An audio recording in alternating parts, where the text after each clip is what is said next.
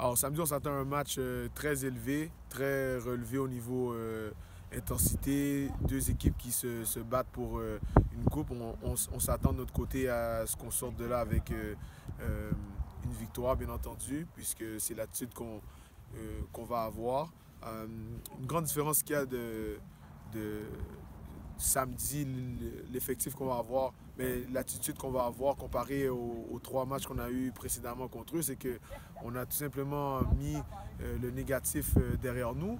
Puis euh, on, on s'est focusé sur des détails simples sur lesquels on a pu avoir des succès. Alors présentement, l'effort est, un de nos points de, de focus. Puis depuis le début de la Coupe, tout le monde focus sur ce mot effort qui nous permet de pouvoir se sortir de, beaucoup de situations qui peuvent être un peu compliquées à certains moments, mais dû au fait que tout le monde est sur la même page et que tout le monde donne euh, l'effort maximal, on est en mesure d'avoir des résultats positifs et on s'attend à un même résultat positif euh, du match euh, qui, devrait être très, très élevé puisque c'est une finale samedi. Alors je crois qu'on a une confiance qui qui est élevée.